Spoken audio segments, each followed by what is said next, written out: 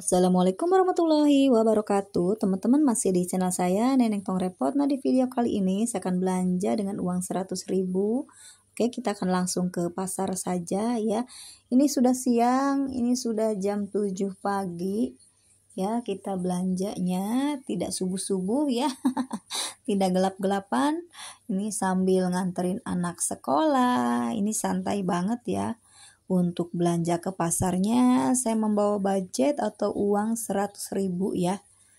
Oke teman-teman, ikutin terus videonya sampai selesai.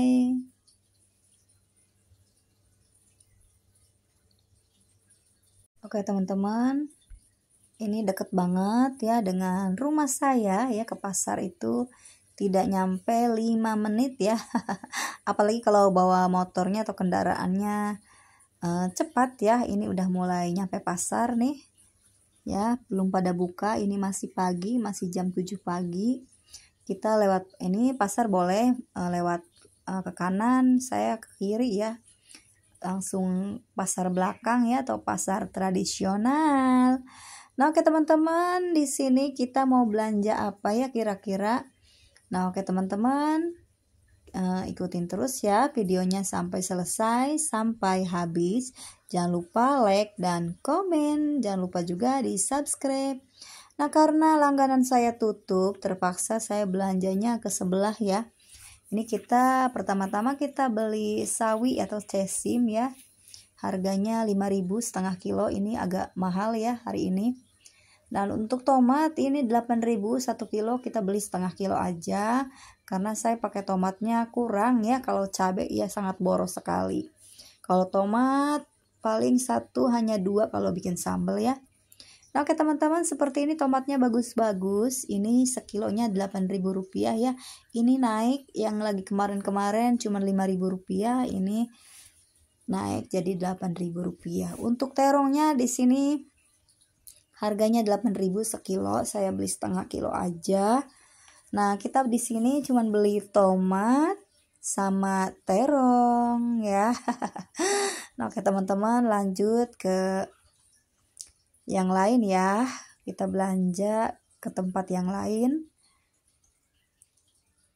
Nah, alhamdulillah teman-teman, setelah lewat ya kita culak cilek ya. lihat sini, lihat situ, ada nangka, sangat enak, segar banget. Kita beli satu aja. Ini harganya ribu rupiah teman-teman. Dan cabai-cabean ini seperempatnya ribu rupiah. Kita akan beli jengkol juga nih. Jengkolnya sangat tua-tua.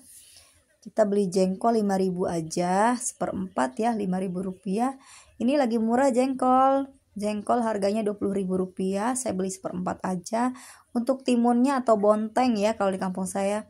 Ini kita beli setengah kilo Rp3.000. Per bawang-bawangan lagi naik nih Rp7.000 untuk seperempat kilo ya atau 250 gram ya. Nah oke teman-teman kita beli seperempat aja karena nanti besok atau lusa takut turun lagi ya harganya. Mudah-mudahan. Dan beli wortel ya. Wortel ini 10.000 1 kilo. Kita beli setengah kilo aja 5.000 rupiah Nah setelah ditimbang-timbang kita beli daun bawang 3.000 rupiah. Ini bukan di langganan saya tapi masih keluarganya masih saudaranya ya. Nah oke teman-teman lanjut. Kita muter-muter ke sini. Kita lanjut ke pasar ikan. Ini sisa uang 50.000 rupiah lagi. Tahu ini kita beli ikan apa ya Oke teman-teman kita lihat-lihat dulu. Nah anak saya tuh hobinya ikan kurisi. Nah ini untuk uh, beli ikannya di langganan ya di si emak. Nah ini satu kilonya 20.000 kita beli setengah kilo aja 10.000 dan beli ikan emas juga setengah kilo 13.000 beli tempe harganya 5.000 satu papan ya atau satu lenjer seperti ini ya. Nah oke teman-teman seperti ini ya. Ini 5000 rupiah, besar sekali, panjangnya banget banget. nah oke teman-teman lanjut kita jalan ini bersama anak saya ya. Kebetulan anak saya baru dateng ya. Dia pengen ikut emaknya belanja ke pasar asruk-asrukan ya. nah oke teman-teman. Wih cabenya sangat segar-segar banget ya. Nah setelah dipikir-pikir belanjanya sudah di stop dulu ya. Uh, karena kita beli yang penting-pentingnya saja. Lanjut kita langsung pulang. Dan ini ada jajanan. Nih anak saya pengen jajan ini ya. Jajanan zaman dulu ya. Zaman kue jajanan pasar. Nih ada undal andil kalau di kampung saya nih. Ini harganya seribuan. Langsung kita pulang aja oke teman-teman ikutin terus sampai rumah ya kita lanjut pulang nah alhamdulillah teman-teman ini sudah nyampe rumah kita akan bongkar-bongkar ya atau kita sepil-sepil apa aja nih yang kita beli untuk hari ini. Nah, ada sawi ini harganya 5000 ya, setengah kilo. 5000 rupiah dan timun setengah kilo 3000 rupiah ya. Boleh dihitung juga teman-teman ya kalau teman-teman penasaran. Ini ada wortel setengah kilo saya beli ya. Ini wortel impor ya. Nggak tahu wortel apa ya. Pokoknya wortel yang bagus-bagus ya. Ini setengah kilo 5000 rupiah. Dan beli jengkol ya 5000 rupiah. Daun bawang 3000 rupiah ya beli cabai ini 8000 rupiah untuk cabenya tidak lupa bawang merah Rp7.000 untuk 1 per 4 atau 250 gram. Tomatnya saya beli setengah kilo Rp4.000. Ada jengkol muda juga teman-teman saya beli 2000 ya untuk lalaban anak saya pengen lalaban jengkol. Nah ini terongnya sangat cantik-cantik ya. Nah ini Rp4.000 untuk terongnya. Saya beli salam tadi belum tidak saya ke video ya.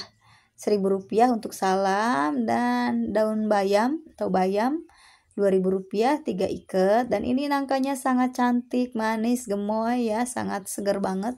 Ini tempe Rp5.000 ini Rp13.000 setengah kilo dan ikan campuran seperti ini 13 eh, Rp10.000 maaf teman-teman.